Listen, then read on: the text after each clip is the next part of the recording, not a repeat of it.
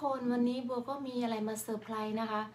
เป็นชีวิตมีแต่การเซอร์ไพรส์นะคะ บางครั้งเราเซอร์ไพรส์ก็อาจจะดีบ้างไม่ดีบ้างนะคะ เพราะว่าอะไรคนเราคิดต่างกัน แต่เซอร์ไพรส์แบบนี้ผู้หญิงชอบทุกคนนะคะคือเซอร์ไพรส์อะไรที่ผู้หญิงเห็นแล้วต้องยิ้มแล้วก็ชอบ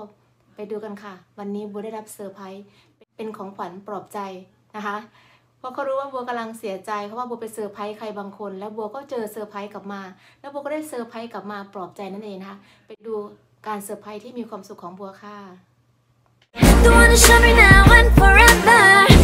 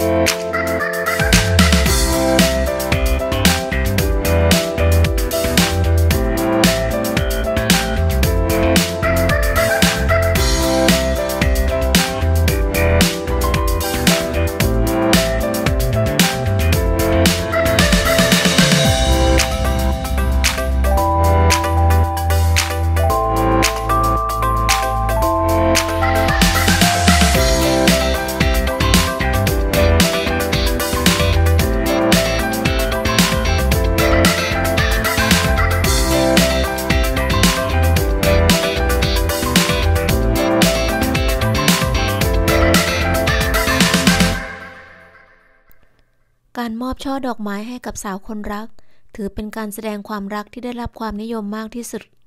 ถึงแม้จะเป็นวิธีการแสดงความรักที่ดูเชยไปบ้าง แต่สาวๆส่วนใหญ่ก็ต้องการให้หนุ่มคนรักของเธอ มอบช่อดอกไม้กันทั้งนั้น ไม่จำเป็นว่าช่อดอกไม้ที่จะมอบให้นั้น จะต้องมีราคาแพงเสมอไป เพียงแค่คุณมอบให้เธอด้วยความจริงใจ เธอก็จะประทับใจในความน่ารักและโรแมนติกของคุณ ตลอดไป ไม่ว่าช่อดอกไม้นั้น